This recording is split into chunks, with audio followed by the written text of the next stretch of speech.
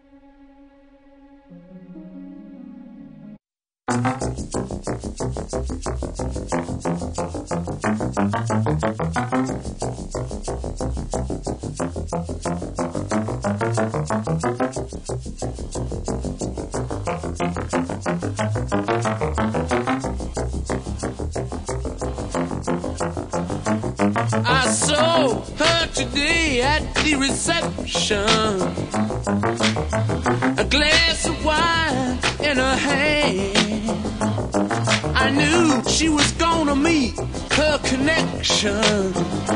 At her feet was a footloose man.